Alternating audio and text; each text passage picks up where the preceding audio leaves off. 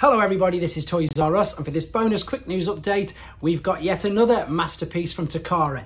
This is the third train bot from Raiden and this is Yukikaze and again not officially revealed by Takara yet but again you'll recognise exactly the same layout, exactly the same post that's used on the Facebook group that does in fact sell these and again we're just awaiting official confirmation.